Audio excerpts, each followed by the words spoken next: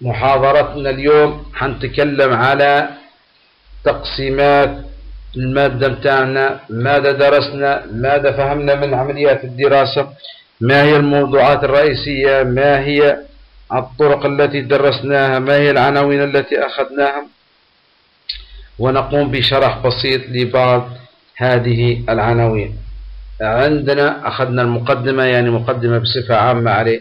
عنوان مادتنا وهي دراسات في التمويل الإسلامي يعني دراسات مواضيع دراسية بما يخص في التمويل. عرفنا شنو يقصد به هو التمويل ولكن التمويل الإسلامي وليس التمويل التقليدي ما هو في القروض والمصارف التجارية. خذينا مفهوم التمويل ومصادره في الاقتصاد الإسلامي.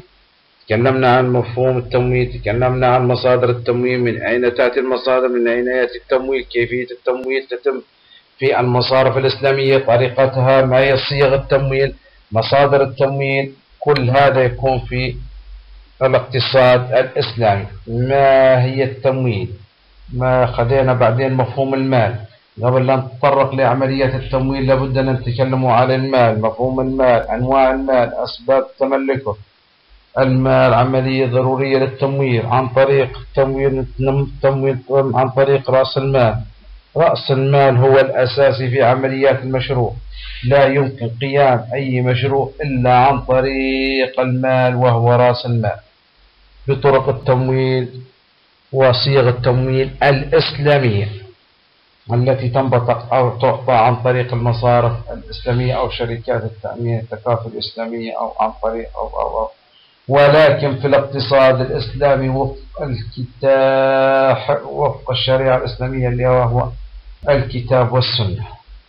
بعدين خذينا مفهوم التمويل وتكلمنا على مفهوم التمويل وأنواع التمويل في الإسلام. انتبهوا لعملية الإسلام إحنا في موضوع إسلامي. كل جوانبنا نتكلم عن الإسلام حكم الشريعة الإسلامية. منين ناخذ حكم الشريعة الإسلامية؟ عن طريق الكتاب والسنة. ماذا قالت الكتاب؟ الآيات الصور القرآنية الآيات القرآنية نستدل بها بما يخص السنة الحديث الشريف ومواضيح أنواع العوائد في التمويلات الإسلامية. ما هو العائد؟ اللي هو الربح.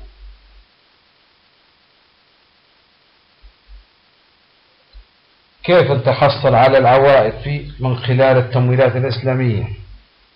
أنواع العوائد كيف الطرق التي نتحصل عليها من العوائد؟ من عمليات المشاركة المضاربة عمليات السلم الاصطناع عدة أنواع نأتي أو نتحصل من خلالها على العائد أو الربح.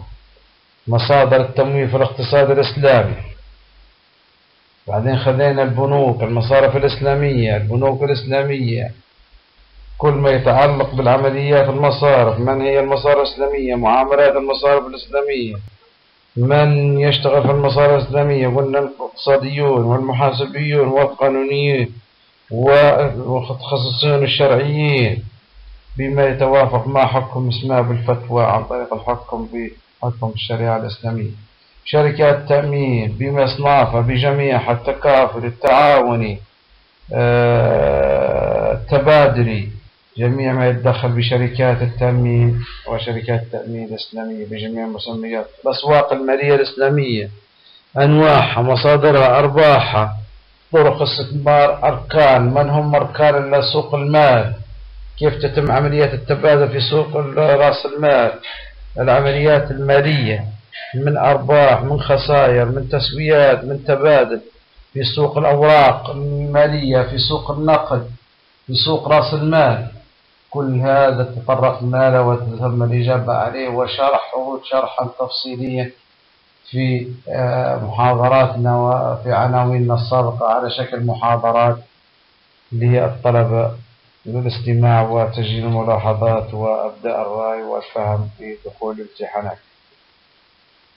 خذينا صيغ التمويل في الاقتصاد الإسلامي وكيفية تطبيقه خذينا جميع أنواع صيغ التمويل. بين المضاربة والصيغة الشبيهة بها كالمزارعة والمساقات. خلينا المضاربة المزارعة المساقات كل هذه صيغ التمويل خلينا المشاركة خذينا السلم خذينا الاصطناع خذينا عدة أنواع لصيغ التمويل تكلمنا عنها بجميع أنواعها. في المحاضرات السابقة وتم شرح وقراءتها. للطالب لكي يفهم الطالب موضوع وهذه عناوين رئيسية والآن تطرقنا إليها على شكل عناوين للاستفادة منها في فهم المحاضرات السابقة لكل الطلبة وأتمنى لكم التوفيق.